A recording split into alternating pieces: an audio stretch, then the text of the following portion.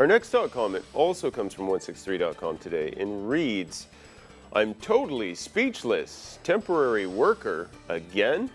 The local government in Nanzhao County in Henan Province decided to host a butterfly festival to highlight the natural beauty of its Bao Tianman scenic area. And along with their new festival, the tourist spots managers developed a festival symbol, a butterfly fairy. However, when the butterfly fairy stepped out into the crowd, things turned chaotic. According to GMW.com, the fairy was dressed in a plain white dress with about a hundred butterflies pinned to it.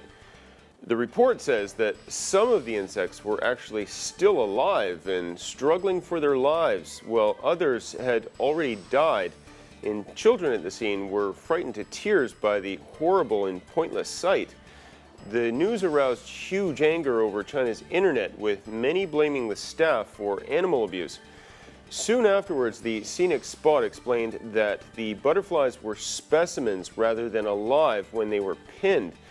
They claim that the staff that did this turned out to be a temporary worker who did it for what they thought was fun and were fired immediately. The explanation is apparently something most people don't believe, especially when temporary workers are commonly used as an excuse when things go wrong and people are looking to get rid of the responsibility in China.